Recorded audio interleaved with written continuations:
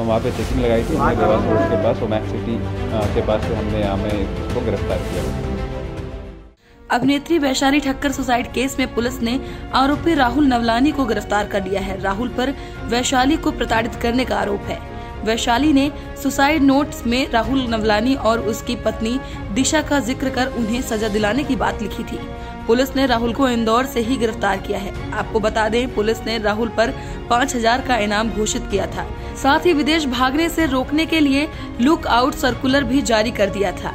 उसकी तलाश में पुलिस टीम मुंबई और जयपुर भी गई थी। बता दें कि इस मामले में सीएम शिवराज सिंह चौहान ने आज ही कड़ी कार्रवाई के निर्देश दिए हैं। बुधवार को दोपहर करीब दो बजे आरोपी दंपति जिला कोर्ट में सरेंडर करने पहुँचे थे, लेकिन पुलिस की घेराबंदी होने के चलते वह वहाँ से फरार हो गए। रात होते होते पुलिस की एक और खबर सामने आई है, जिसमें आरोपी राहुल नवलानी को गिरफ़्तार कर लिया गया है। वहीं उसकी पत्नी अभी फरार है।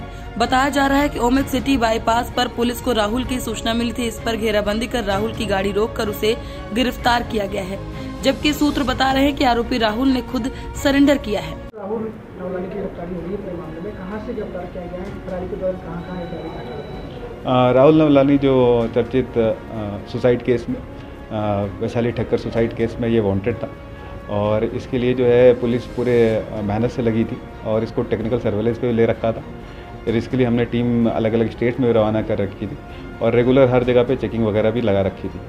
इसी के दौरान जो है हमें जो देवास रोड पे हमें टेक्निकल सर्वेलेंस से हमें हिंट मिला कि यहाँ पर से ये पास हो सकता है। तो हम वहाँ पे चेकिंग लगाई थी। हमें देवास रोड के पास ओमैक सिटी के पास से हमने यहाँ में इसको गिरफ़्तार किया।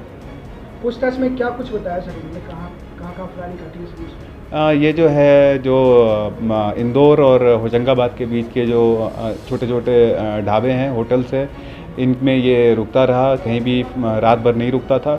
ऑल द टाइम मूव पे रहता था। और फिर उसके की और अपना जो नंबर वगैरह भी बंद कर दिया था इसने।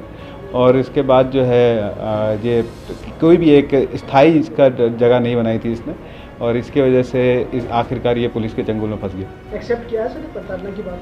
अ, अभी जो है बहुत प्रिलिमिनरी स्टेज में है। आज ही शाम में इसको हमने पकड़ा है और जो है इसके जो टेक्निकल एविडेंसेस है उसके तलाश में हम लगे हैं कि जिसमें हम इसके मैसेजेस वगैरह रिकवर कर सके।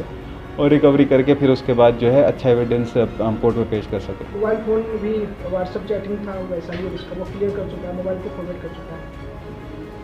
हाँ ये सही है। ये बात सही है कि इसने अपने मोबाइल को फॉर्मेट किया हुआ है।